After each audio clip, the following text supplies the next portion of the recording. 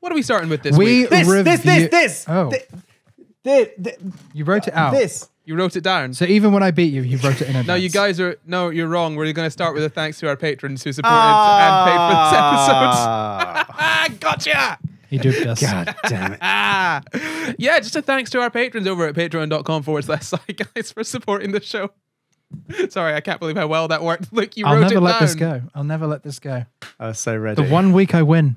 Our patrons have voted for the topic of this episode, and also they're just lovely people. Why don't you go and become one? That's one? true. To be They're lovely. quite lovely. Shall we start the show? Let's start the show. Let's start the show.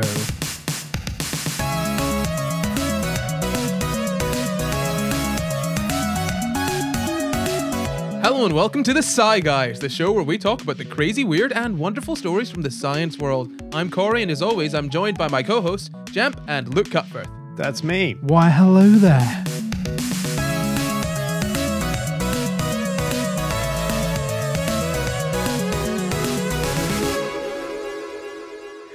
This week we're talking about Nelson Mandela and some bears. Right. Did he ever You know, fight Corey- a bear? I was starting to think, you know, when I was when we were away for the break, I was I watched the latest episode that we've just put up, and I thought maybe we should start introducing a thing where Jamp and I try and guess the topic when you say this weird cryptic crap you start the show with. But actually, with that, I'm going to go back on that. I have no idea what we're talking about. I think if you go back to the first episode, I think you guys did guess the topics. And so I just started making it harder and weirder. I And don't we know gave why. up. Yeah, there was a turning point somewhere. it just became nonsensical. it did. It did. But that's okay. So, the death of Nelson Mandela um, and a 90s genie movie and the Berenstain Bears are all things that have been collectively Yes! misremembered by a chunk of the population. Yes! This was a massive thing online. It was. Yeah. I So- bet like 80% of our listeners got it. And we were just there like, ooh, did he fight a bear? I mean, they can they can see the title of the episode, so I'm sure they definitely. Oh, true. I should have looked at the title of the episode. Really, you shouldn't should I? have done, shouldn't you? I love how Jamp just used an, the example of thinking Nelson Mandela fought a bear as an example of someone being an idiot when that's the thing that he suggested. Silly. So, uh, you know what we were talking about today, then? I assume. the Mandela effect. The effect. Mandela effect. That's I right. assume. Yeah. Our pa- uh, our parents, our patrons this month have voted for. Oh, they voted for this, did they? Of course they voted for this. Of course, they voted for this. They voted for the science of false memories and the Mandela effect. So that is what we're going to be doing. So, what is the Mandela effect? Have you guys have you guys heard of it? What's the sort of what's the sort of core idea around the Mandela effect? The core idea is that something in the world is collectively remembered to be one thing Mhm. and then is discovered later on in life to be a different thing. For example, there's something to do with Mandela. I can't remember what it is, but I think the example you're going to use is with the Berenstein, Berenstain Bears. I can't remember which way it is around, but they were remembered as the Berenstein Bears, uh, but they're actually the Berenstain Bears, something like that. I'm not laughing at you. I'm laughing at the fact that on an episode about memory, you've said the words "I can't remember" multiple remember. times. I can't remember much about Nelson Mandela. well, okay, so here's the here's the you're right though. Um, a lot of people. the idea is that a lot of people in the world misremember a certain fact, and um, and then it turns out later on that it's not true, and it's very difficult for people to come to terms with that. For example, many people believed, um, and I say believed, I don't just mean oh, I I thought this happened. I mean fully believed. Convinced. Yeah, convinced that Nelson Mandela died in prison. Um, and yeah, no, he he didn't do that. In fact, he was in prison and then he was released and became um the leader, and that's why Nelson Mandela is Yeah. quite famous. And yet, many people fully believed that he died in prison, and it became an issue when they were told, "Hey, no, he he didn't." You know, so they, they wouldn't they couldn't believe it. And with the Berenstain Bears, a lot of people um recently over the past couple of years found out via Twitter or online that um the Berenstain Bears are not in fact the Berenstein Bears. So it's the difference between an E and an A. They thought the name was spelled completely differently, and they would go back and look at the old books that they had and look at the and look at the sort of TV show. And no, they realized it was the Beren the Berenstain Bears all along. So the idea is effectively that not just one person can misremember something, but a mm-hmm. large group of people can misremember something. And I mentioned in the intro a 90s genie movie. Now, a lot of people think there's a comedian called Sinbad. A lot of people think mm-hmm. that he was in a film called Shazam, wherein he played a genie. And in fact, uh, you Mm. could even find Reddit posts where people were explaining what they thought the plot of this was and saying, "Oh yeah, I remember this happened," and specific plot details. And it's just not true. There was no 90s film with Sinbad called Shazam.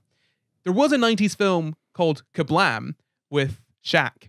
Right. Right. So clearly what's going on here is people have misremembered this and changed it, but it's such a common misremembrance that um a lot of people have it. But that's what we're going to be talking about today. Basically, people misremembering things and how false memories are created. Yeah. Because it's not just forgetting something. That's that's a key point here. It's not just forgetting. It is fully believing that something is not true. No, that something is true when it's not.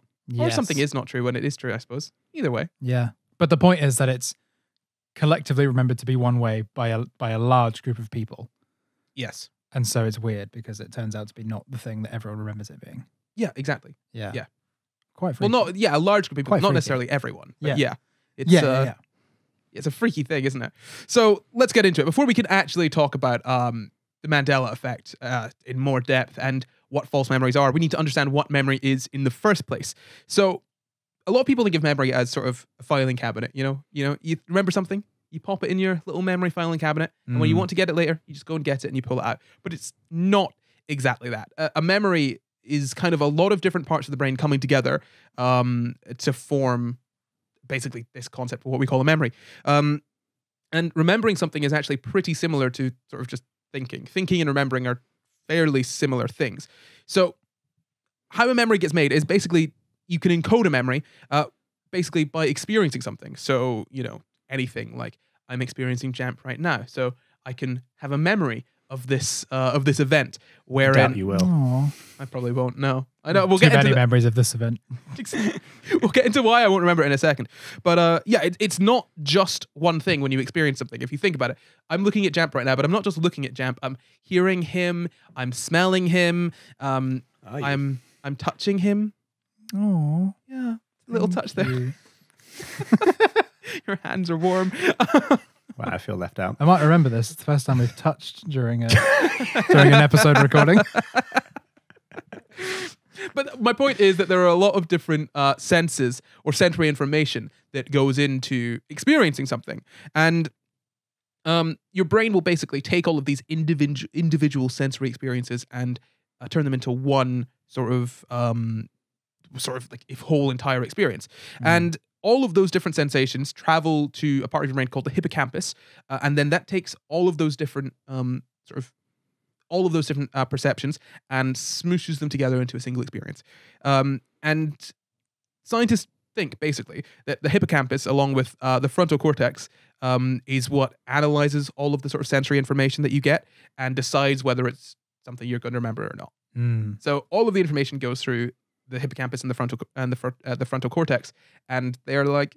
"Eh, I don't need to remember the smell of Jamp right now. I could just toss that one away. Not that important, is it? It's not that No. important. I don't know why I'm going for because I know what you look You're like. going after my smell. I'm sorry. It's a good smell. It's a it's a perfectly neutral smell. Mm, Okay. Not smelling thank you, at all. Hold on.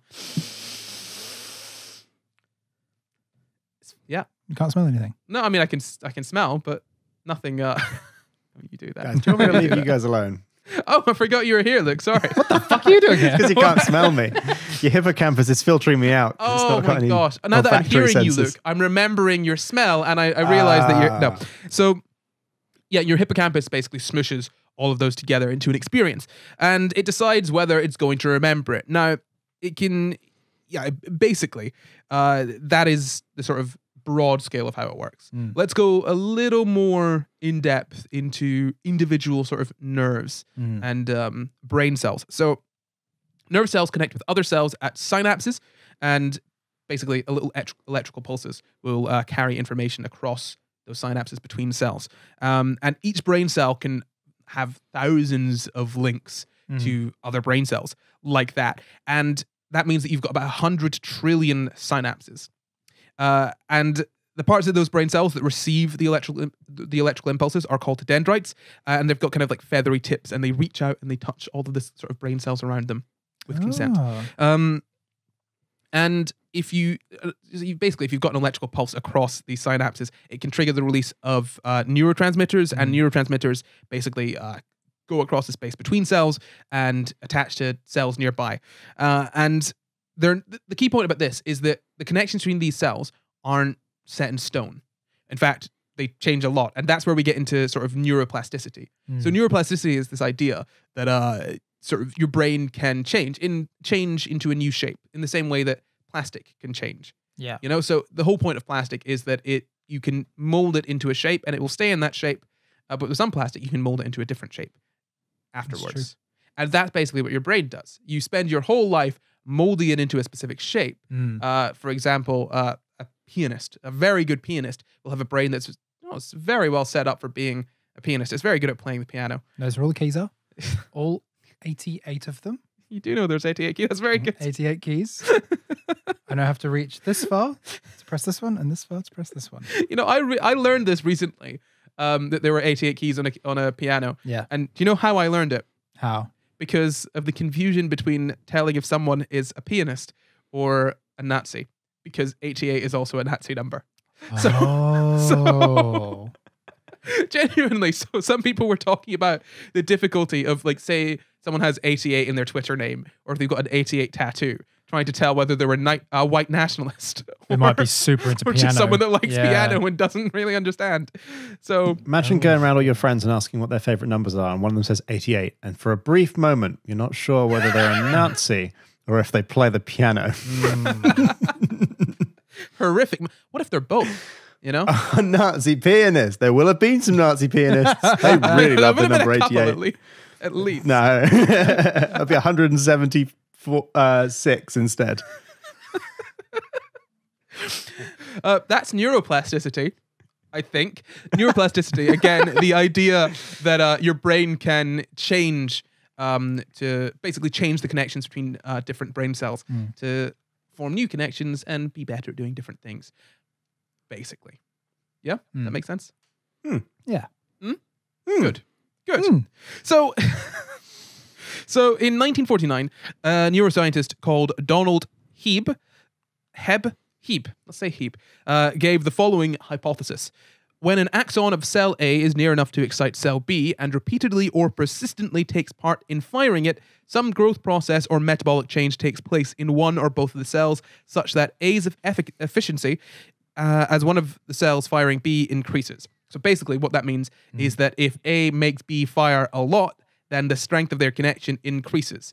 Um, and then he goes on to say that if A consistently fails to uh, sort of fire B, then the connection between them is weakened. In much the same way that if I hang out with Luke every day, my connection with Luke is going to be strengthened, can be very, very good friends. But if I just stop hanging out with Luke altogether, then our connection is going to weaken over time to the point where we're not really friends. Yeah. You forget about each other Yeah, we free. forever. Yeah.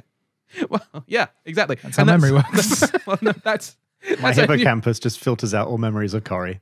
Goodbye. I'm the silence. Well, that's if you filter out Luke, then time ceases to exist. So you better oh, man. but we need time. Ugh. better keep Luke then. This podcast is really not accessible for new viewers at all. no, it's really not. Go back about for every episode we've ever made. You'll get the joke of it. Back about 90 episodes, you should get there. so again, this is neuro. This is kind of the idea of neuroplasticity and um, the idea that if you um, sort of long-term potentiation is what it's called. Basically, if you continue to use a connection, uh, you strengthen it. In the same way that if you continue to use your muscles, you strengthen them. But if you stop using them, they weaken. That's why people say the brain is a muscle. You use it or you lose it because it's pretty much true. You got to use it Yeah. to strengthen those connections. And that's why studying helps as well, because Yeah. studying is going over information again and again, strengthening those connections. And you know, if they're stronger, then they can last longer, basically. Yeah. I It's not- believe, Yes. I believe Hebb is is the man who came up with the famous phrase "cells that wire together." Sorry, fire together, wire together. You're right. Yeah. Yeah. He did. Did he come up? Did he come up with that off the top of your head? Yeah. Oh wow. Well, I didn't. Hebb did. No, I know he did, but did, I'll take credit if you want me to, Corey. No. Cells. Ce- one second, I have an insight. Cells that fire together, wire together. You're and here we have the creation of a false memory for Luke. Wow, Mandela effect. When someone else says that Never Hebb said said that, that. half of the population of Sci Guys listeners will go, but I remember Luke saying it. that is the Mandela effect in a nutshell. I mean, that's just misinformation, isn't it? But again, that's not the whole picture. The sort of A uh, firing B more and strengthening strengthening their connection. Um, there is also um, another sort of rule that goes along with this. Uh, th- that's sort of about predictability. So if A consistently fires just before B, Yeah. then their connection can be strengthened as well. Basically, what I'm saying is the, the, the sort of idea of um, A uh, sort of exciting B making it fire, um, and that sort of consistent thing Mhm. happening again to strengthen the connection.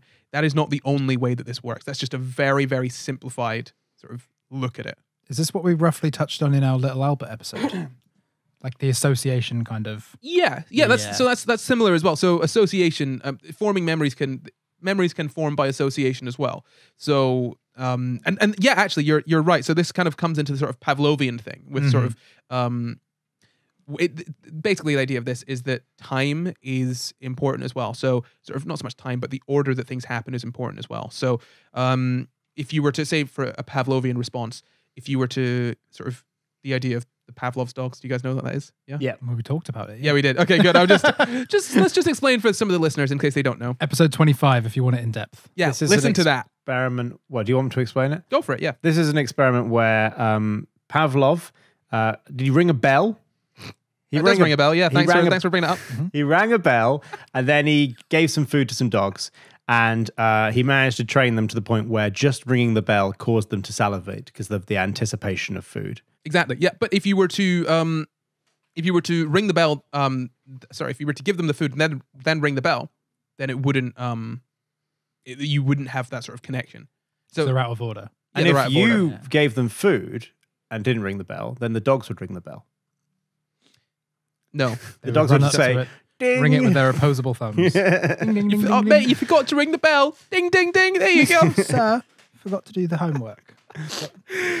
Goodness me. So uh, what I'm saying here is that the order matters as well. And if you want to look more in depth with this, I've got some there's some good sort of descriptions of this theory, this theory, this idea more in depth in the description. Uh, but moving on, the idea to take away from this is, as Luke said, cells that fire together wire together. I did, I did say that. That's true. Cells that play together stay together. Oh. Wow, go. good one. so, um, yeah, that that's kind of the idea of long-term potentiation that uh sort of using using a connection more and more strengthens it. Um, so that's the basis of memory, kind of. That's the sort of basis for how memory forms. Yeah. Does that makes sense? Mhm. Basically, you your your experiences go through your brain. Your brain says, "I'm going to remember this," or "I'm not," and then sort of going over those experiences again, running over Mhm. those thoughts in your head again, can strengthen those memories. But not sort of doing that can weaken it. And sorry, go on. I was just going to ask: is is not only time and repetition is the intensity of the experience also related to how it wires? We'll well, we'll get into that. We'll get to that in, Okay, a, bit, in a sec. Yeah. Uh, so uh, another key point is attention. So you need to be paying attention to commit something to memory. So you experience lots of things at once, but your brain will filter them out. Uh, for example, here's uh, here's a little question for you. Um, what color are my glasses? Reddy Oh. Brown. God, he Got it. black. Reddy Brown. Some tint of gold. God. Well, okay. Are they black? What's interesting Oh here no! I was. is that I have two pairs of glasses. I've been wearing a Ah. black pair this entire time up until I asked you the question, and you both. You both, what you both did, what you both did is great because it's it's almost it's showing almost an example of false memory here. You I doubted guys myself. knew uh, from some other point that I I do have a pair of sort of goldish glasses, Yeah. but I don't wear those. I don't wear those for Sci Guys. I haven't done for for months, and I just saw you take them off. you just saw me take off my black glasses.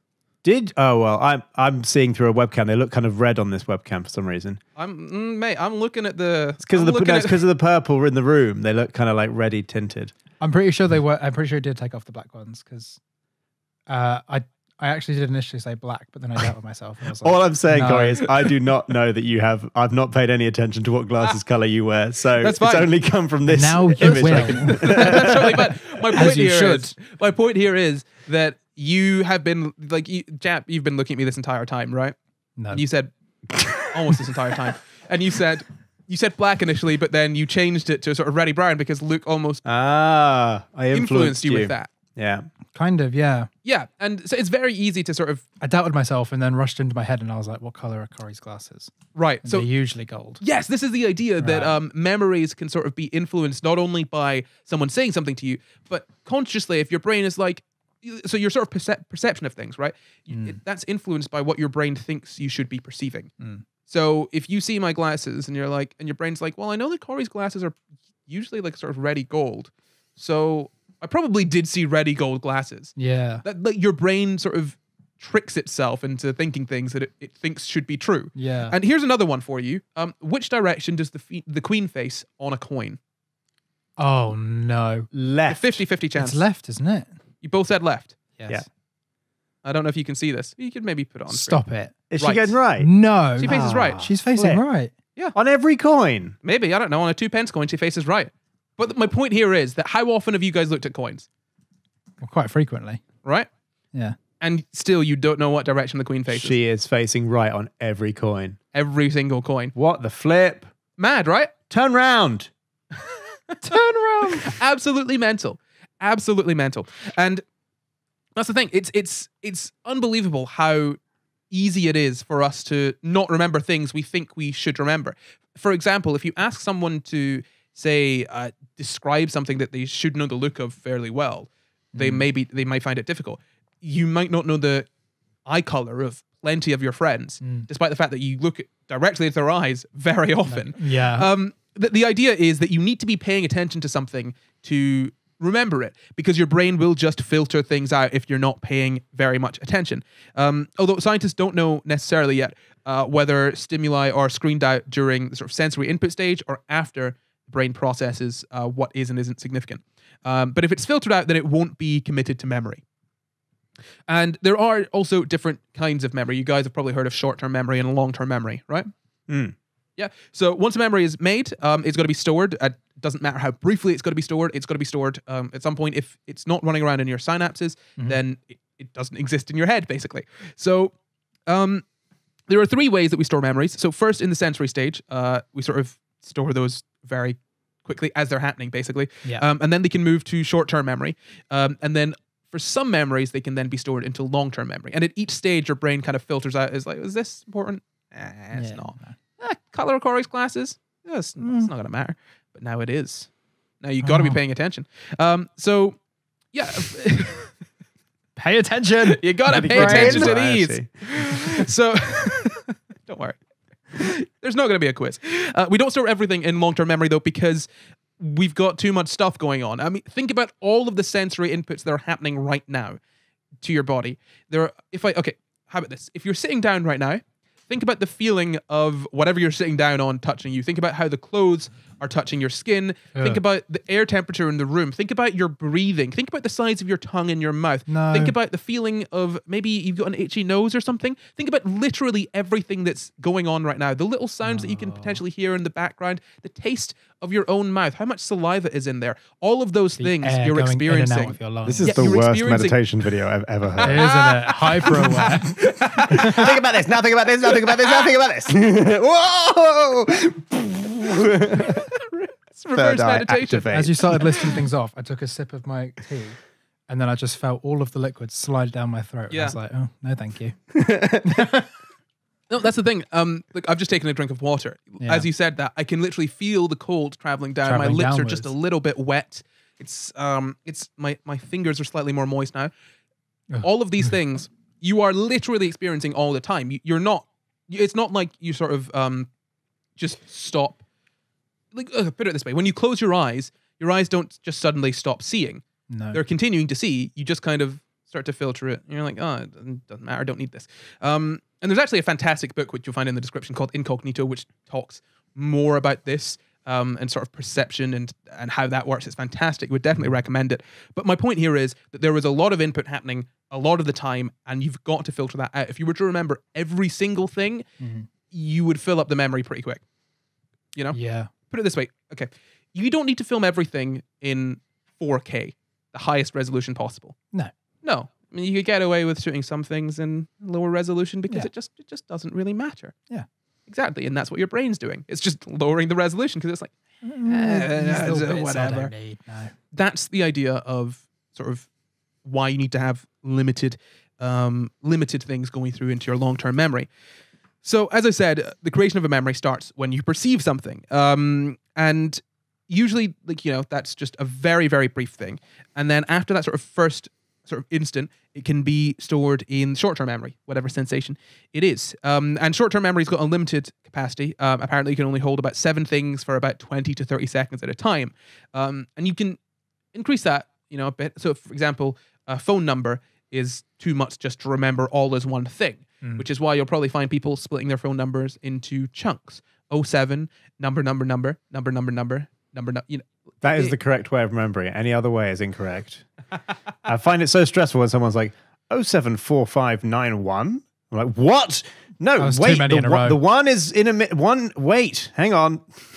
Those are the first numbers of Luke's actual phone number, by the way. Mm. Are they? I, I the last don't. I don't, Numbers I don't know your phone. I don't You know know your phone phone. number off by heart, Corey? I don't because I don't need to because I have a magic device capable of doing it for me. What if Um, you're in a The last crisis six and you numbers need are me quite in, easy, aren't they? on a desert island? And, and the only phone is someone else's phone. I'd call my mum. Your mum doesn't have my number. So moving on, you can remember phone numbers, you know, uh, by splitting them up into different things. Um, and also, if you repeat things, you can keep it running around, um, sort of in your head. That's why you know if you don't want to forget something, you can just say it over and over and over and over and over until you need to say write it down or or, or do whatever. Mhm. Uh, but that's still keeping it in the short term memory. Um, and that sort of gradually transfers from the short term memory into the long term memory.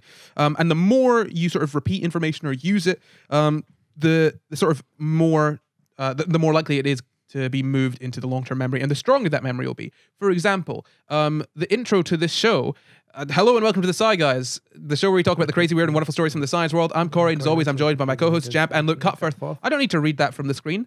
In fact, I can't read it from the screen because it tricks me up. It trips me up if I try and do that because it's just Yeah. stored in my memory. It's just stored in there because I need to say it every week, and I have done for almost 100 weeks in a A row. hundred, yeah. so, Wow, look at us, Jamp, living rent free in Corey's head. so that's that. that, You know, the, and you you're aware of this. The more you need to sort of use information or perform a task, the more you're sort of the easier it will be to do that. The easier it will be to remember how to do that. Uh, but that's that's sort of um, long term memory. But also a key thing to remember here is that um, this is something that I find really interesting. Is that it's much easier to learn and remember things when you already have a basis. Um, sort of base knowledge in that area. So, for example, it's much easier for me to sort of learn about um, specific areas of science because I've already gotten a basis in that area from my degree. Mhm. Uh, and you know, for example, learning about say things with film, Luke, um, or with say editing, Jamp, learning things about those will be easier for you because you already have a base knowledge in them.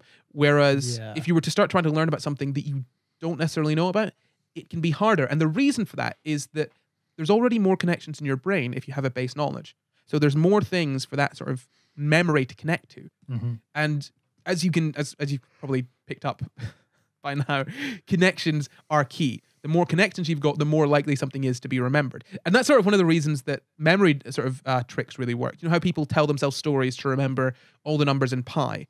Um, the, Oh yeah. yeah, the reason that works is because just random digits of pi have no meaning whatsoever. But if you say a story, it's quite it's easier to remember a story, and so it's easier to remember those things. Basically, making connections can make it easier to remember things. Yes, Mhm. Luke.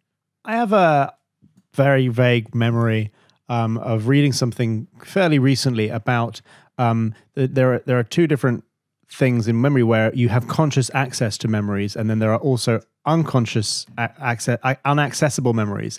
And the suggestion was that actually you probably remember an awful lot of what happens to you, but you don't have. It's almost like cordoned off. It has. It's unconnected. Um, and you're talking about connections, and I wonder because like people have experiences where they go back to their childhood and they remember every single piece of information about things they thought they'd long forgotten. you've just a little bit spoiled what's coming up. But Ah, no, sorry. well done, good job. No, um, there are so there are things. There are different kinds of memory.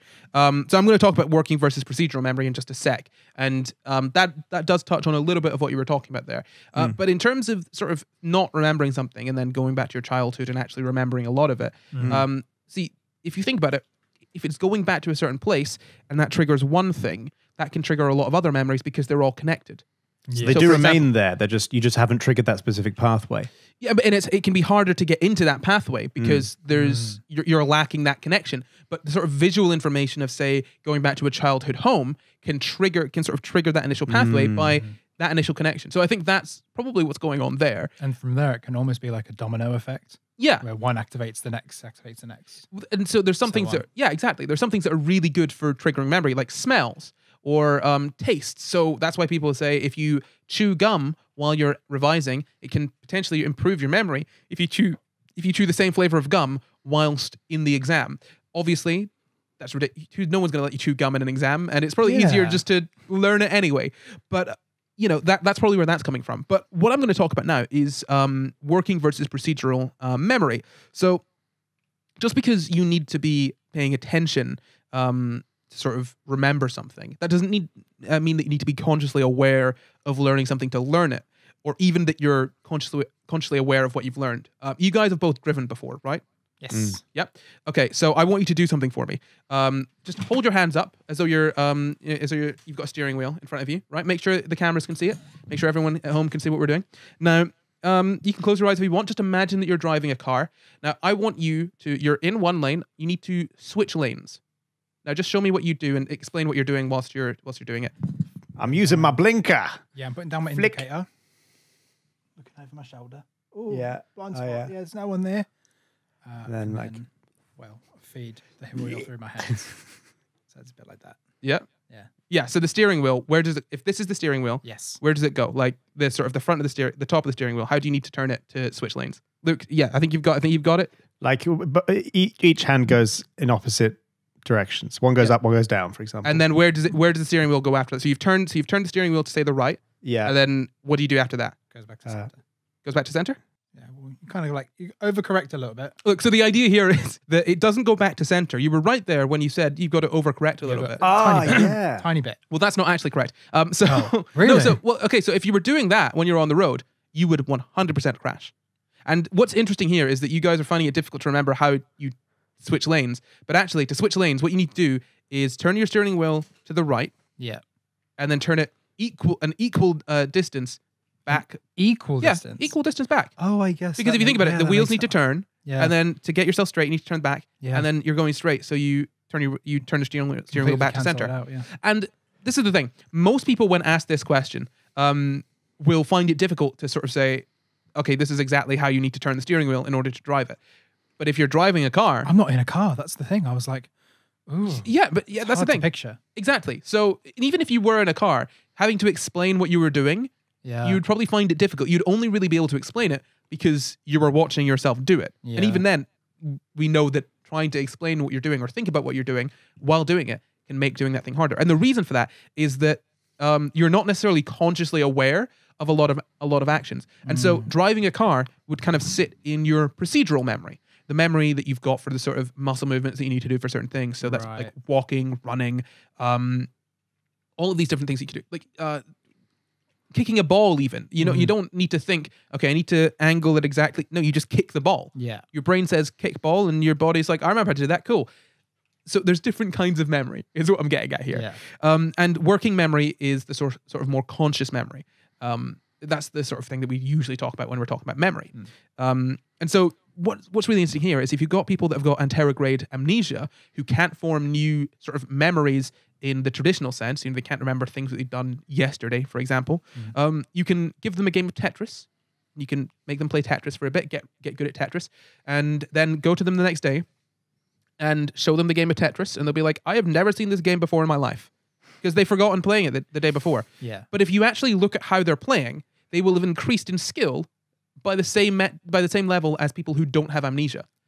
So they're still like they, Ah. while they can't remember having played it, they still have that procedural memory. because different parts of the brain are involved in uh, different part, different kinds of memory. So procedural memory is handled by a different part of the brain Yeah. than your sort of working memory. That's so cool. It's really cool, isn't it? Yeah. So the the idea of memory being one sort of solid thing is not necessarily the case, and you're not necessarily conscious of all of your memories, uh, which kind of ties into what you were saying earlier, Luke, about people uh, about memories kind of almost being hidden from you in a sense, because memories can absolutely be hidden from you and could be triggered by something else. That reminds me of uh, the Split Brains episode where you ask someone why they laughed, and they are like, they make up a completely stupid reason because the part of their brain that laughed is now severed from the part of the brain that talks. Yeah, Um, that is just so fascinating. Yeah. So a lot of this, um, a lot of what I'm talking about right now is also in that book that I mentioned, Incognito, and I, I revisited the split brains thing because of that, and it is it is super interesting. So definitely go back and listen to Luke's episode on that if you want to hear more. Um, Episode 40. so um, Luke, you were saying earlier about different sort of um, different kinds of memory uh, based on how s- sort of um, intense um, an experience is, weren't you? Yeah, like a like a traumatic memory or an extremely happy memory. Yeah. So, so essentially, what's going on here is I said beforehand that the hippocampus uh, is the bit that sol- consolidates memories. Now, that is true. But if something frightening, traumatic, or otherwise very stressful happens, then the amygdala also um, lays down a memory for the event too. So your brain has basically developed uh, more than one way of creating Yeah. memories, and those memories can be harder to forget, and they can come back very suddenly as flashbacks. Basically, that's what you see in people with PTSD. The amygdala is just like, "Hey, you're this thing is happening again. Here are all these experiences because I know you want to. I know you want them." Um, and that's basically what a flashback is: a very intense memory that can just be triggered, um, seemingly out of nowhere, and it's very difficult to forget. And it, it, it, it experiencing a memory, um, a sort of memory like that, is very different than experiencing normal memory. It can be much more vivid, and also it, it could be much more based on experience and emotion rather than uh, absolute sort of objective fact.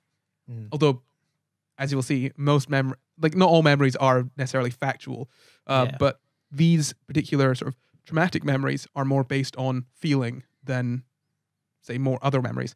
Mm. Um, and so that's that kind of area of memory. And then we can also talk about uh, forgetting and failing in memories. So memories can fail. You can forget something uh, when either your perception is inaccurate um, or you didn't register something properly to begin with.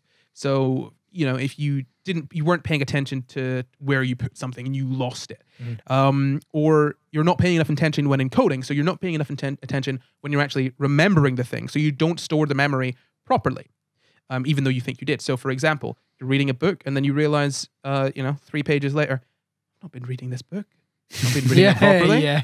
You've just you weren't paying enough attention. You thought you Zoned were. out. yeah. Honestly, researching that happens so because I'm thinking about something else, Honestly. and then I realized that that thought has taken over the, the sort of main the main thing I'm supposed to be doing. And then the last one is when you can't retrieve the memory accurately uh, due to a mismatch in um, sort of w- the, the cues that you're using to retrieve something and the actual the where the thing is stored in your memory itself. Mm. So effectively, if you think about this, like if you're searching on your computer, right, you can't quite remember the file name that you that you named something. Mm. You're gonna have trouble finding it, and that's what sort of like having trouble remembering something could be like. Basically, um, the cues that you've got to try and retrieve that memory mismatch with how it's encoded. Yeah. Um, and that's forgetting things. Now, forgetting things are really is really different from false memories. So, why don't we talk about what false memories actually are? So, forgetting something is quite literally that information just isn't there or it's incomplete. But false memories are different in that sort of the blanks can be filled um, with something that isn't true Mhm. or An even yeah or even completely fabricated yeah. um, which is i- i- incredibly interesting that that is something we are completely capable of just fabricating um, fabricating a reality and believing it to be true Yeah. 100% and this isn't sort of mental illness bear in mind this is um, this is something that every single person on this planet does fairly regularly Mm. it's it's not uncommon Well, it just seems like a, dreadfully unhelpful feature of our brains. What you say that, right? You say it might. You say it seems like an unhelpful feature, but actually, uh, so I was reading that apparently um, this this is slight. This may be slightly better um, than having 100% perfect recall. So the example that I was reading, um, it was basically uh, based on sort of probability. So you had basically two options. uh, you had a hundred percent chance of getting a million a million pounds, or an uh, in the second option you had an eighty nine percent chance of getting a million pounds, a ten percent chance of getting yeah a ten percent chance of getting um, five million pounds, or a one percent chance of getting nothing. Now, most people, when presented with those options, will be like, "I'll just go with a million Mm. Because like I'm a hundred percent chance of getting a million. Those are better odds. That feels better." Whereas um, the second option is actually statistically the better option. Yeah. But you know, people just kind of gesture, sort of gesture broadly an idea um, Mhm. rather than specifically. Um, specifically sort of think it through and so with memory it's a similar sort of thing remembering everything specifically and exactly may not be as good for survival as having a general idea um, when it comes to taking risks. So if something seems like a kind of bad idea it's probably better to avoid that rather than you know having a specific ex- exact idea of all of your past experiences. We'll, we'll get on to we'll get on to why it might be um, why it might be slightly more beneficial or why it's something that um like you know, sort of why of it in a bit. Uh but here's here's the thing. False memories. Um false memory can describe um a sort of range of different errors in your memory from just misremembering um sort of words that are in lists to sort of in like incorrect details when telling a story to a completely sort of fabricated um completely fabricated like memory. Um and elizabeth f. Loftus is someone that will come up a lot if you're looking into this. Uh, she's done a lot of uh, studies on this. And um yeah she's her, her research she found that memories can be distorted. Um and she's done a few a few different studies on this particularly in sort of in the areas of um, how this affects witnesses and sort of um, witness testimony um, uh, and in one study, subjects were shown a video of um, crimes or accidents, not actual crimes or accidents, just ones that were sort of simulated, let's say. Um, and then you could make the subjects believe details that weren't true. Just small details like changing a stop sign to a yield sign Yeah. or um, the, the sort of the, the facial features or the look of the uh, the criminal, you know, just little things like that. But when it comes to witness testimony, that's those little things can be very big. For example, okay, someone has uh, that person had sort of um, short hair, and they actually had long hair. Well, that changes who your suspect is. Mm. Oh, did they uh, did they like did they sort of run through a stop sign or a yield sign? Those are sort of different things. Was there even a stop sign there? All of these different um, sort of tiny little alterations that can be made to memory that can just kind of be influenced can have big sort of consequences. Yes, Luke, Can I ask a very specific and pr- question that you might not have an answer to? you can, but I might not have an answer to it. That's true. You might not. Um, do you? Is there any idea or any indication as to whether this kind of false memory thing is happening? Um, i.e., the the either that the brain is actually writing false memories, or if um, upon trying to recall something, um, there isn't imperfect information, and so whatever f- function is happening that preve- presents us with the memory is filling in the gaps. Like, is the false memory present in the brain, or are the gaps filled in upon um, recognition? from what I've gathered, right, it seems that, and there are lots of different cases for false memories happening. It can happen in Alzheimer's. It can happen in, um, there's even, I think, false memory syndrome. Um, there's lots of different ways of it happening. Uh, sometimes it can happen through suggestion. So uh, you can ask someone to recall something, but um, sort of influence what they're recalling by giving a sort of biased question, sort of leading leading the witness essentially. Yeah. Um, so in that case, uh, the brain can it's sort of almost in the same way that um, the brain can sort of say, "Oh, I'm I should be perceiving this, so that's what I'm perceiving." You know, that's that's how that false memory could be written Yeah. by the brain being like, "Oh, well, hold on. If it was, if say the glasses were supposed to be brown, then they must have been brown." Like, oh, I must be misremembering. So th- that's Yeah. one way they can be written. Um, other ways they can be written is just um, through, yeah, sort of incomplete details. And when you think about those details and try to recall them, yeah, the brain will fill in the blanks. If you think about it, your brain fills in the blanks an awful lot, and Yeah. you don't even notice it. I was I was going to bring this up uh, quite a bit later, but um, you've got a blind spot in your vision, right? oh, I hate it. Yeah, it, it's an it's We've talked about this incredibly infuriating, and I don't want to I don't want to go into how to find your blind spot or whatever. We'll just power through this. You have a blind spot in your vision. Um, you've got two, actually, because One um, in each eye. Yeah, because the back of your um the back of your eye, you've got basically where your optical nerve connects to your the back of your eye, and that can't see anything. So throughout your entire life, there are two points in your vision that are completely empty. But you are not aware of those because your brain just fills in with what it thinks should be Yeah. there. Uh, and so all throughout your life, your brain is sort of editing your perception. And so it doesn't it does make sense that it will do that with memory as well because as we've said memory and sort of thoughts are not too dissimilar. And if you think about it, your perception, your experience of the world is not exact. It is being it's being filtered through your brain. It's in it and this is the this is the thing. They've done studies as well wherein um just thinking about seeing something Mm. can have very similar patterns to seeing the thing. Yeah.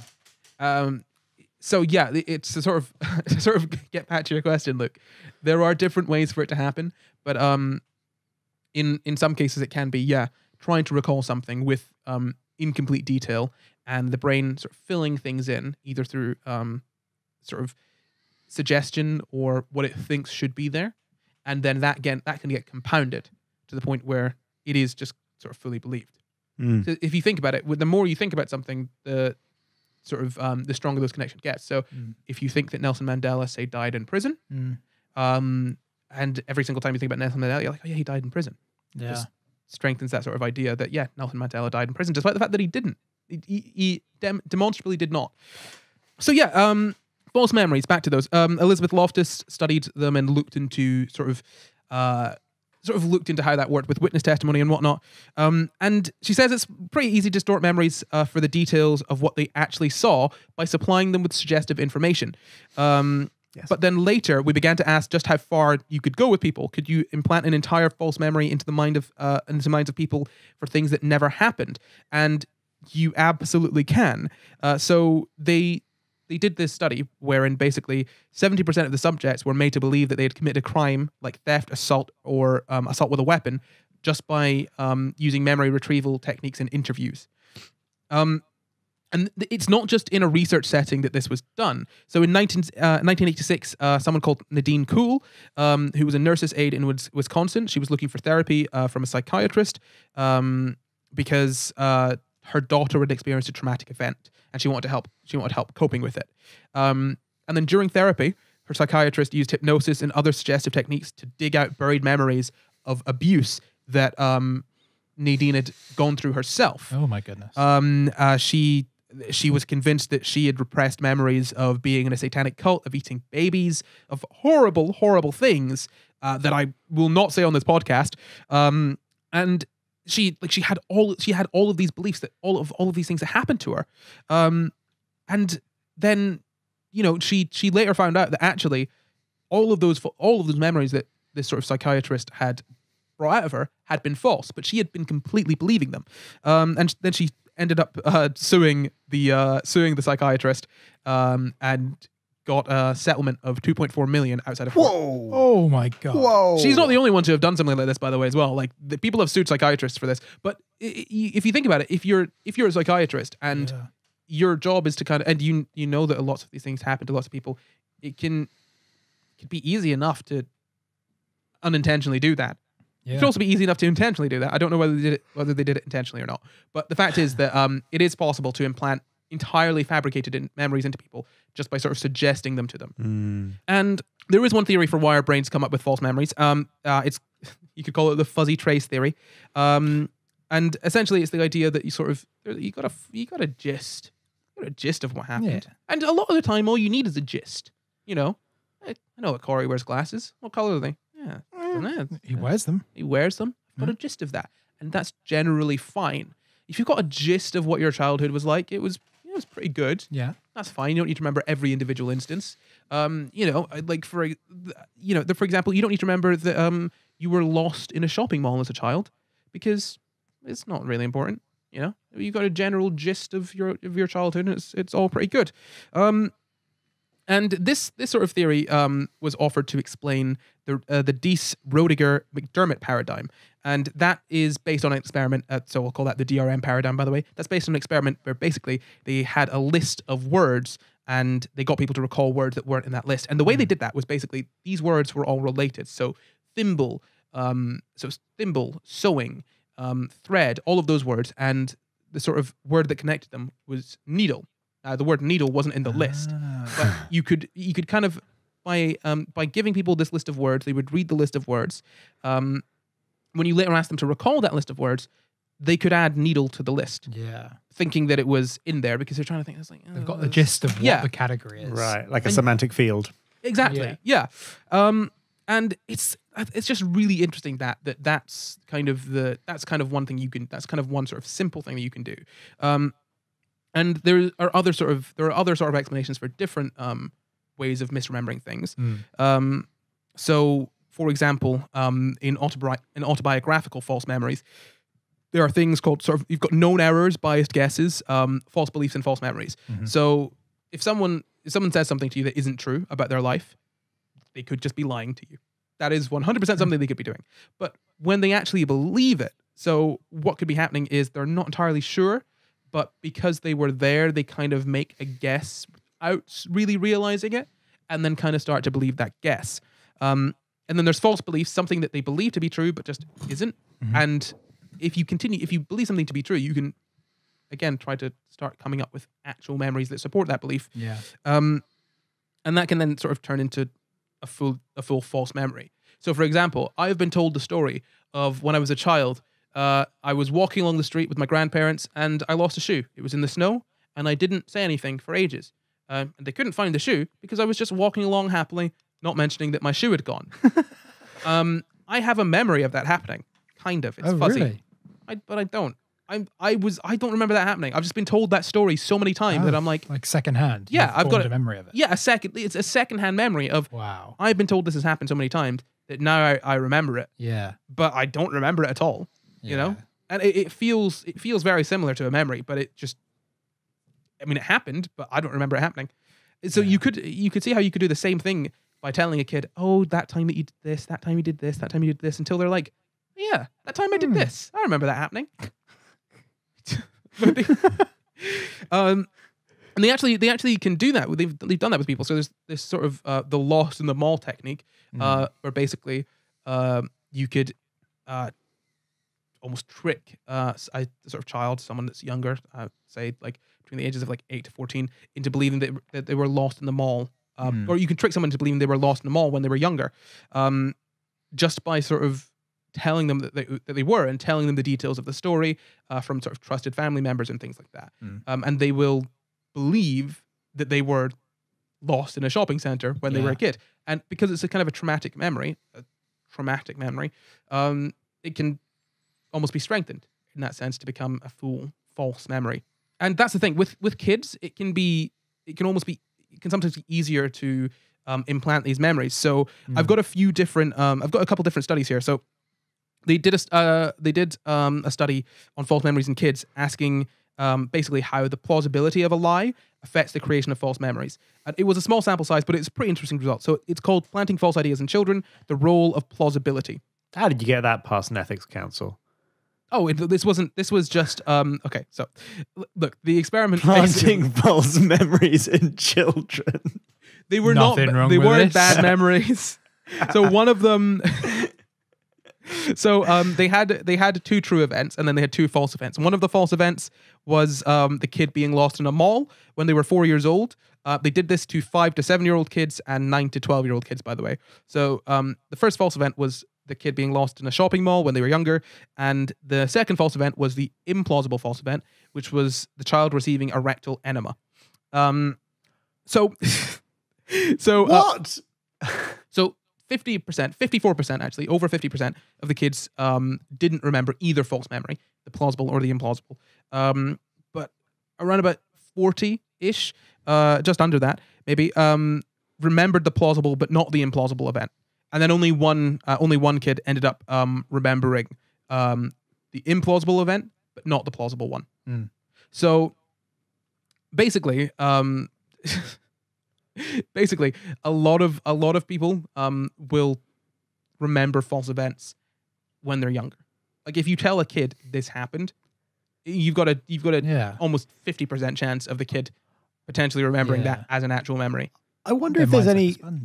This may just be um, a thing that happened in my head when you were listening. I was listening to you talk about this, but I wonder if this could be like, for example, if the kid has a vague memory of like something bad happening as a kid, um, and that kind of slots into that gap that they have where they go, well, that kind of makes sense for this, or this is what the brain might do is like s- slot that in as like, well, that kind of makes sense of this vague thing I feel in in like this thing I feel. Um, would, would like for example, would it be more likely that somebody with a with a an uh, like a, a, a repressed negative memory would be likely to uptake a another potential false negative memory Well- to make sense of that feeling. Well, I don't know. I think, I think okay. So that's kind of ex- I think that's kind of an explanation. Um, sort of, what I can say is that I have read that people with PTSD and depression um, can potentially have a higher risk of or be more susceptible to false memory implantation. Right. Yeah, that makes Um, sense. but I would, but again, explaining that by saying, "Oh, it's because No, the no, no. brain wants to connect that." Yeah, yeah, yeah, yeah. I can't I'm say that because it. yeah, Yeah. you're yeah, yeah, which is which is perfectly fine. I just can't say that's why. So that's that that's that sort of that's that story. Uh, the other article was um, adults' impact on the reliability and suggestibility of children's eyewitness testimony. What they did here was they showed kids a movie, and um, then they gave them a questionnaire, which um, had um, uh, a free narrative question and 18 open-ended questions. Um, so the free narrative question just asked them, asked the kids to specify what they remembered about the the film, and it was an animated film. Not that that's really relevant. Okay.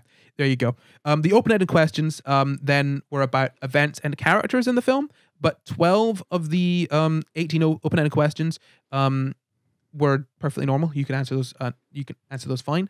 Uh, but the other six were trick questions. They were about characters and things that weren't in the film at all. Um, and they found that even when the interview interview was directly after watching the film, kids um, were quite significantly affected by the misinformation being given to them. Oh my god. Um, yeah, as in, if you gave them that sheet, they'd be like, they'd be like, "Oh, an authority figure." Oh. An adult's telling me. I guess it must be true, and they'd must have been in there somewhere. yeah, so I mean, based on that study, that's that's what they found. Um, and children could create a new event based on the information they receive from an adult, which is pretty which is pretty interesting, I think. Wow. Because I mean, you can almost think of it as like learning as well. Mm. It's sim- not too dissimilar from learning, uh, in that, um, as we've said, sort of thinking and memories are run by pretty similar processes. Mm. So, an adult teaches you a lot of things as a kid. So, it makes Yeah. sense that kids are going to believe what adults tell them.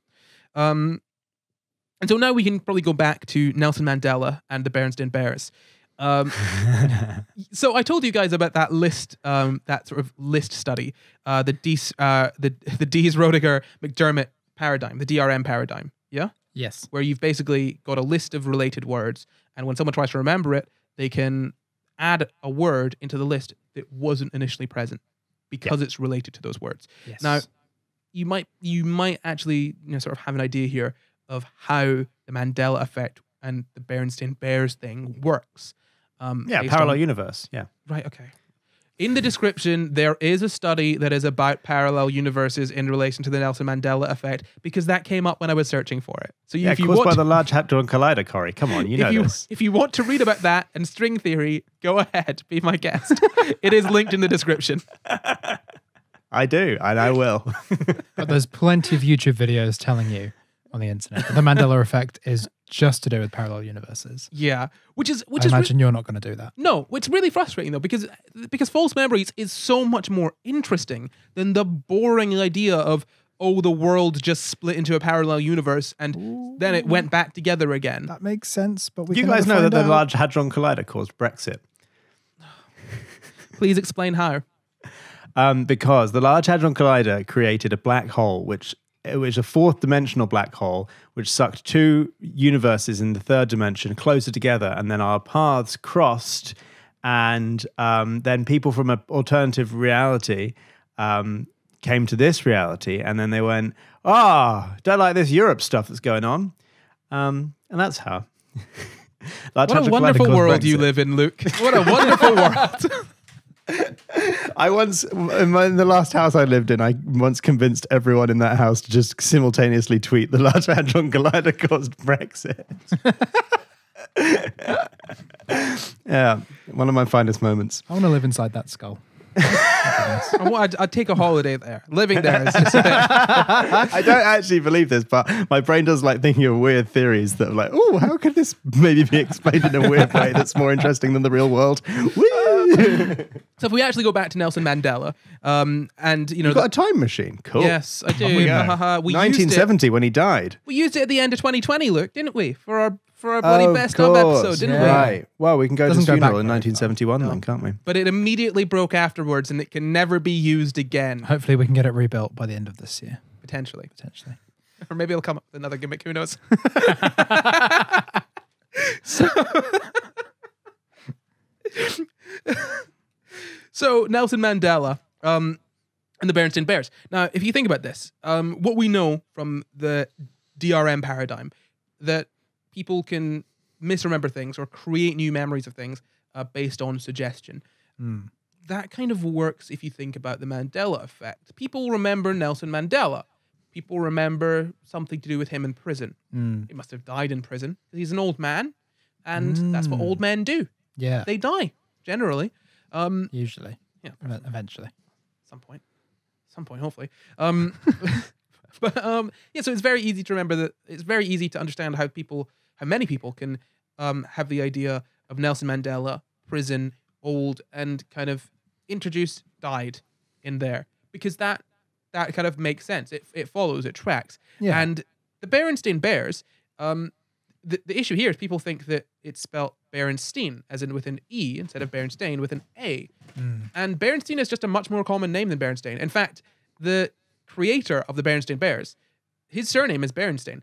So it, it, he's had that issue his entire life as well. In fact, his son, who then took over uh, running the you know, those bears, um, has even said, "Yeah, my dad's entire life, he had people saying that he was Berenstein, and even when I was in school, uh, my teacher said, "Oh no, it must be Berenstein, not Berenstain." And that's not even, they're not even bears. They're not even, fa- that was just their name. Yeah. So in this case, it's it's creation of false memories basically because it makes as much sense as the real thing. I have a similar issue with my name because people always go, "Oh, I thought your last name O'Neill is Yeah. spelt with two L's," because that's the common spelling of O'Neill, but mine's actually spelt with one L. Yeah, it is. And so I have to correct people all the time. They're like, "No, I thought it was two. No, it's never been to. It's It's always one." infuriating. Yeah. Yeah, but no, it's that's an it's infuriating to write. because I've always got to get rid of that second L. Ugh. Backspace. Ugh. But uh, yeah, no, that's, you can see here why people can collectively misremember something. And what I mentioned from the start, that film with um uh what's he called Sinbad called Kablam, or, or that film with Sinbad called Shazam. Mm. People can very easily remember that there was a film in the '90s uh, about a genie um called Azam or something, Yeah. And it had a black guy in it. Whose name begins with S? Sinbad, Shaq, Shazam, Kablam. It makes sense that you can. It makes sense that your brain wants to like your brain wants to fill in the gaps. Yeah. It always wants to fill in the gaps. Um, and when it comes to memory, it's not any different. It's just sometimes it's not very good at filling the gaps. You know? Yeah. So yeah, it makes sense that this would happen.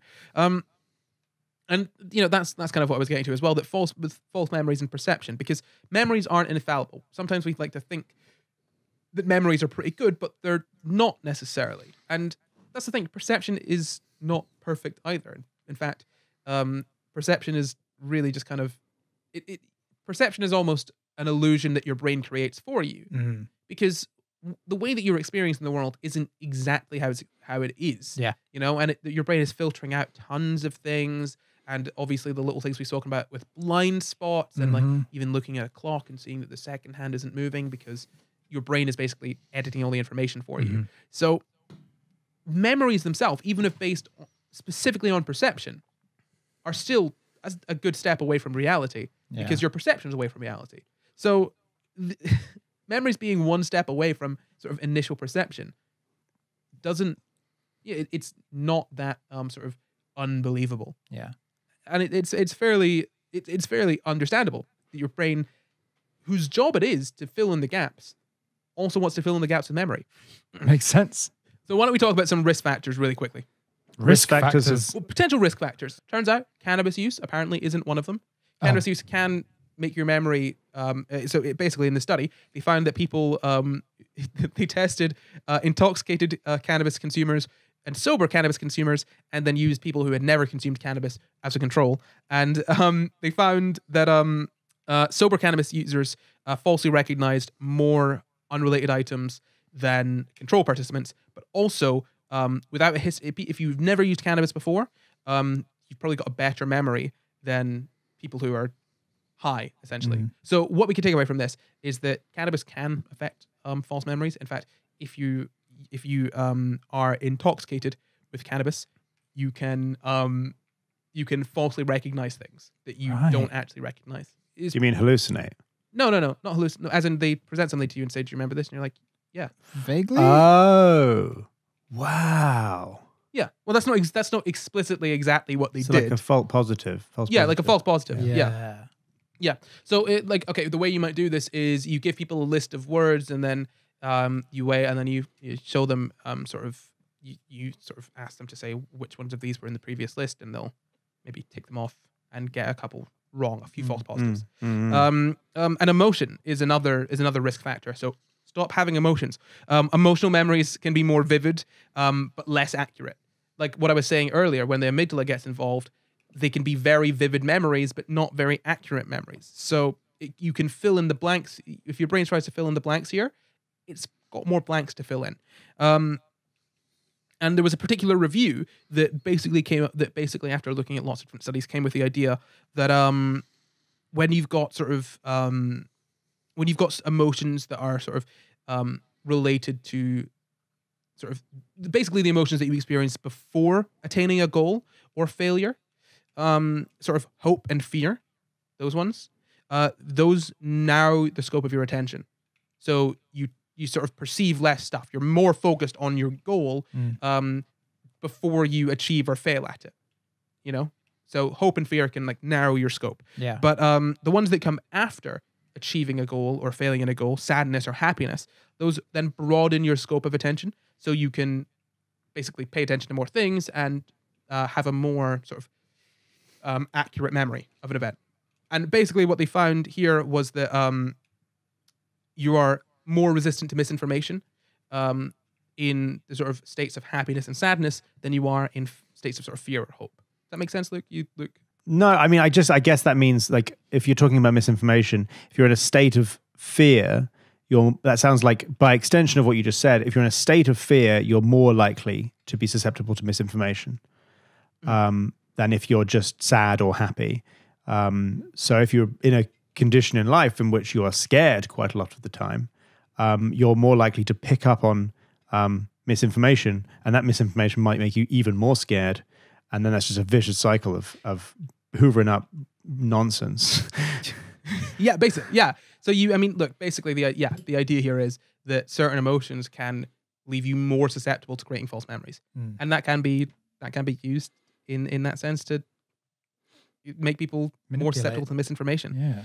Um, Mm. Speaking of misinformation, there's actually a study that I found about um, susceptibility to false memories for COVID 19 fake news.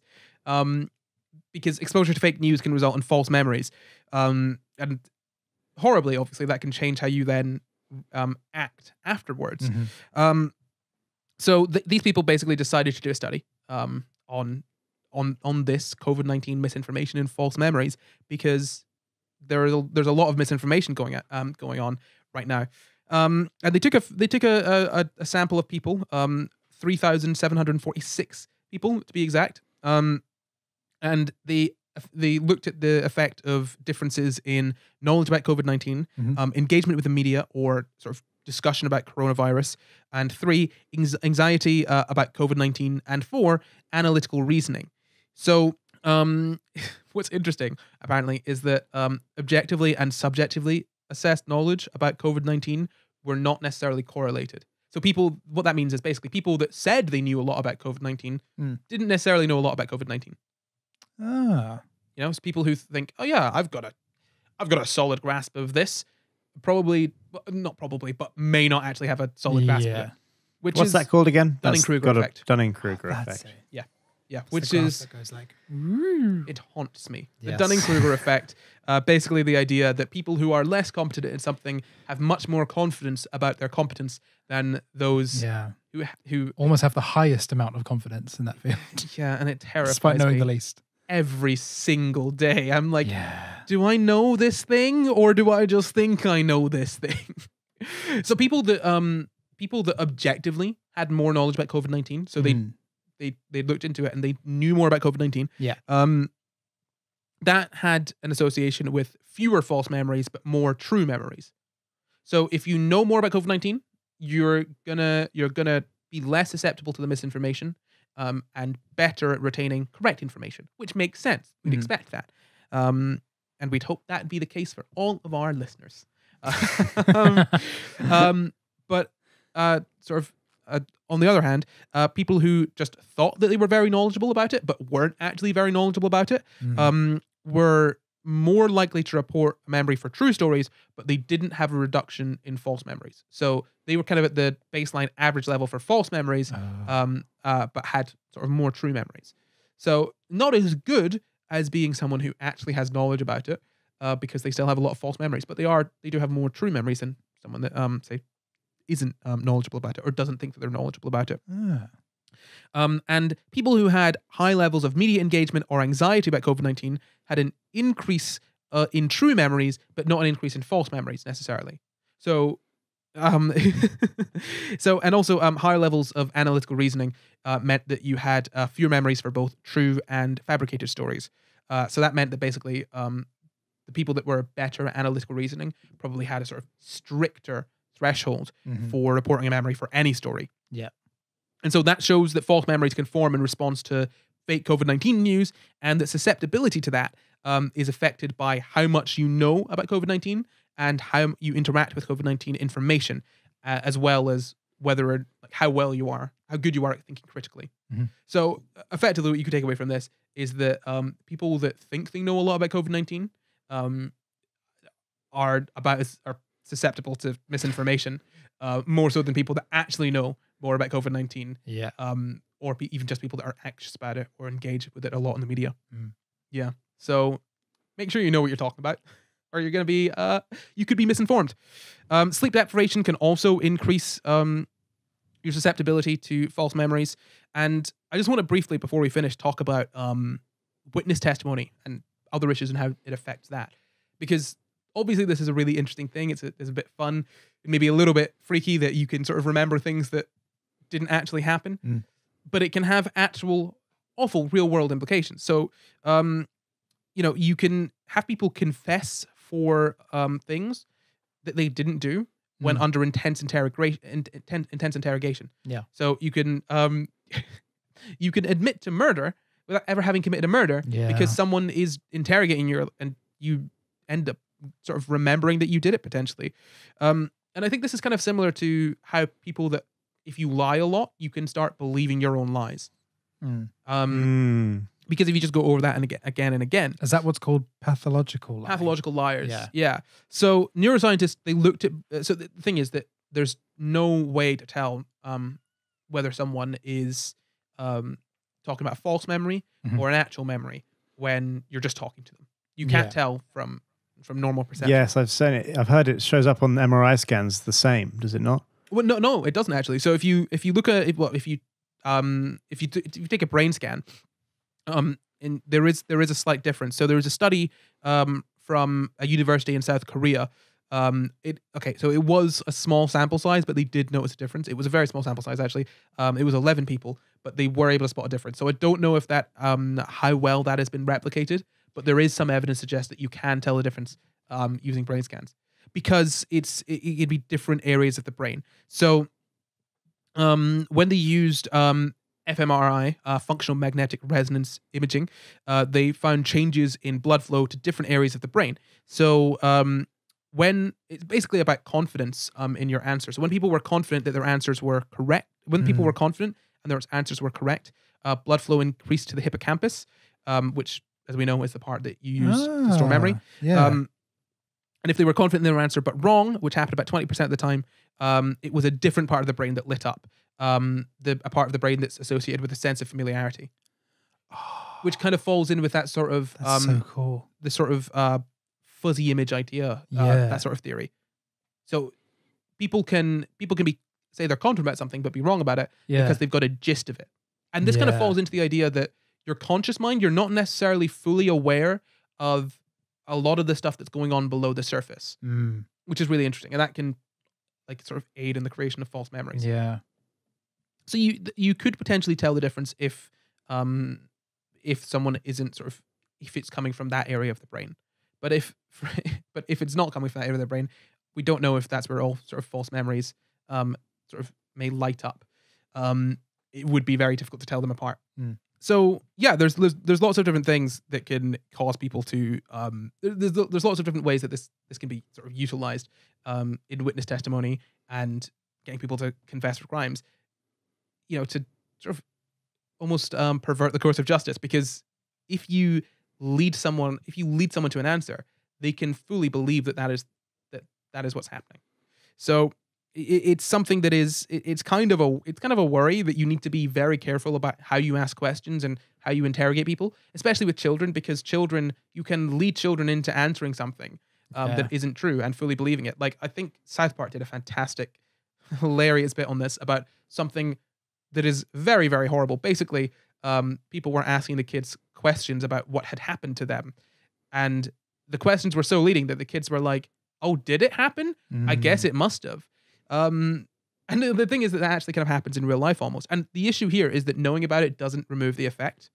Like being fully aware that this is something that happens, um, can maybe make you slightly um more sort of aware of it, but it doesn't completely remove it. Mm. So we we're not really sure necessarily what we can do about this, but we are aware that it exists, and I think it's something that's really interesting, and it really kind of sheds a new light on how memory works and how we perceive the world. Yeah.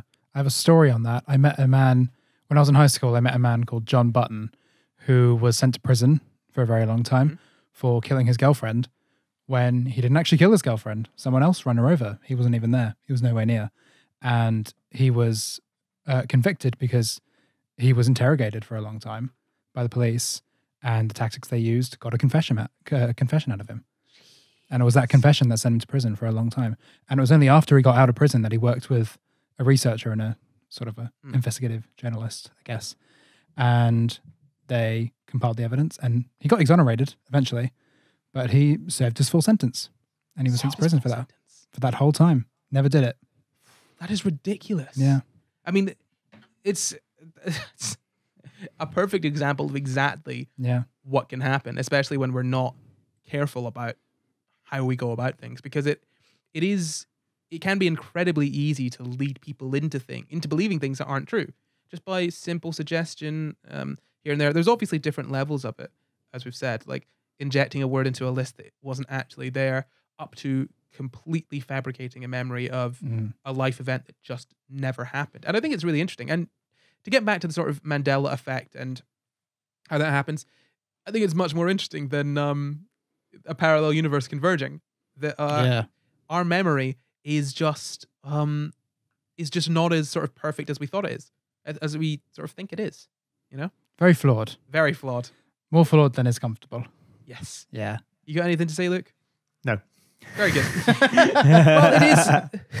That is the show for this week. But before we go, we've got something very special to do, don't we? Yes, we do. We've got to thank all of our new patrons We do. who have signed up in the last month. Yeah, signed up in the last month. But before we thank all of those, we'd like to give a very special thank you to our executive producer, Ashley Muller. Thank you, Ashley, Yeah, thank you, Ashley. Oh, Luke's. Oh, he's gone. for continually supporting the show. Oh, Luke's back. Hello. Hello, back. I was getting Hello, my Luke. phone to read all the names. We were just thanking Ashley, our executive producer. Ah, Ashley, how's the bread going? She, she can't hear She me. can't hear you. No. no, she Well, I can can't hear hear you. her. You can't hear her. Ashley, I want you to reply, even though I can't hear you. Oh, guy, shh, don't interrupt her. It's going well. Very good, Ashley. Oh. Thank you very much. For, It was like I could hear her. well, if you want to be thanked in next month's Patreon vote episode, you can be. All you need to do is sign up to patreon.com forward slash sci guys uh, for any amount, and you can be thanked by us next month. But hmm. first, let's thank all of our lovely patrons. Thank you to Holly Butler. Thank you to Mac Thompson. Thank you, Liv Shu. Thank you, Seb Stevenson. Thank you to Marion L. Thank you, Tom Duchamp. Thank you to Emily Kota. Thank you to Ashley Adams. Thank you, Clara Rose. Thank you, Zayren Productions. Thank you to Kiana Dillard. Thank you, Simone. Name my granny's seagull. Thank you to Andrea Held. Thank you to Darby Latting. Thank you, Lilo. Thank you, Elias Blad. Thank you to Damie Campbell. Thank you, Thim Henning. That was Tim Henning. It might be Tim. Tim? Tim Henning?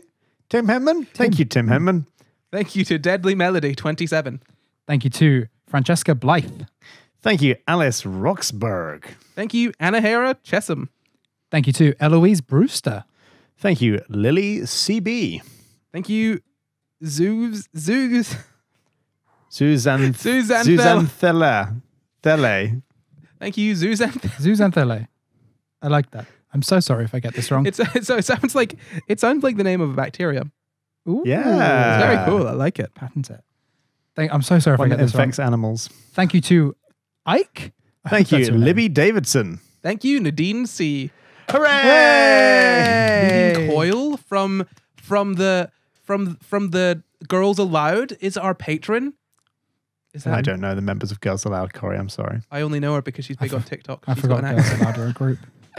No, but thank you to all of our patrons, and we're terribly sorry to all of the names that we butchered. but if you want to have your name butchered, uh, just like those, just like those It's lovely one people, of our perks. just like those lovely people, uh, again, head on over to si- to patreon.com forward slash sci guys uh, and join up there. You get loads of cool stuff, don't you? What do they get, guys? you can get some fancy bonus episodes every single month. Hell yeah. You can get access to the Patreon Discord. Very Okay. nice. Sci Guys Discord. You also get access to every single Sci Guys live. You can. Mm-hmm. Very nice. and nice. some bonus clips. And some bonus clips. You can vote in the polls. We do polls every month. you can suggest episode topics. Yeah. Yeah, it's loads of stuff actually. Loads of stuff. There's Honestly, Too much stuff. too much. Yeah. No, just enough. I think. Yeah. The perfect amount. And and also, if you sign up, you know, to be a patron, you can also uh, get us to 250. At which point we'll make a full episode of Sci Guys, but with rats instead of the Sci Guys. And you know you want to see it. I like that we're sticking to that promise. Yeah, we're sticking to it. Yeah, We're sticking to this because I want to see it. of course. Get us there. Go on. I want to buy the little rat microphone. Well, we will if we get to 250 patrons. a single use item. What a great what a great business decision. Not if we hire some mice to co-host sometimes. if I want to take a break, if you want to take or a if, break, if Luke I'm speaking take a break- particularly shrill one day.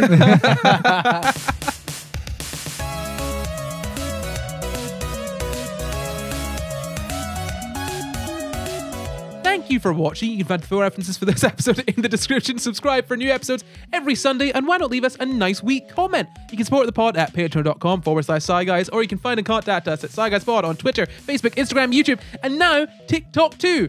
Or you can send us an email at SciGuysPod at gmail.com. I am not Corry everywhere. I'm Jampkin everywhere. I'm Luke Cutforth everywhere. Goodbye.